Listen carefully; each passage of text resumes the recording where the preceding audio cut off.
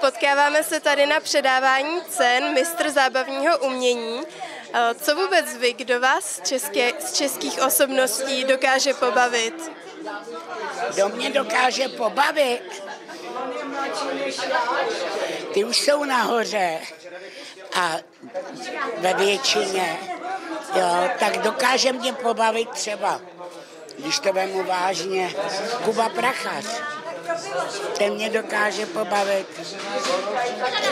Jiný level je Libor Bouček. A to jsou všechno mý kamarádi, takže ty já adoruju a, a i se jim zasměju.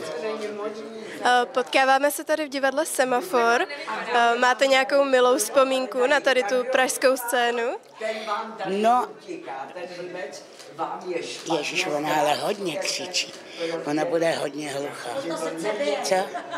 Ne, ne, tady nemám žádnou to, protože tady jsem jako divák pouze, takže ne, ne, nemůžu sloužit, abyste se zasmáli. My se tady setkáváme už po létě. Jaké vůbec bylo léto u vás? Pracovní.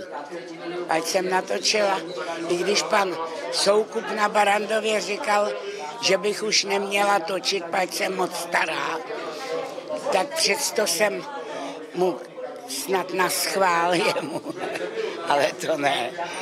Eh, Natočila eh, nový film, samozřejmě o staré paní. Stejně starý jako já, ale vypadám tam starší. No, já jsem o tom četla a vám tam prý dokonce museli přidělávat vrázky, je to pravda? No, to je neuvěřitelný a přitom mám pocit, že jí tolika nebylo ani, jako je mě. Ale tak to bývá v životě, někdo má kliku. V tomhle mám kliku. A jak to vůbec děláte, že vypadáte tak dobře? Jak se udržujete v kondici? Se udržuju, furt něco dělám. Já jsem velice činorodý člověk.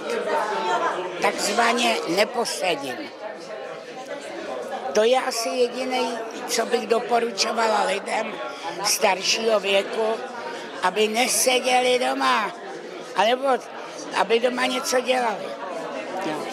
A vy jste vlastně v létě skončila v nemocnici a v minulém roce jste si prodělala i plicní embolii. A Kočka. Já se ze všeho nějak dostanu, nebo mě dostanou lidi.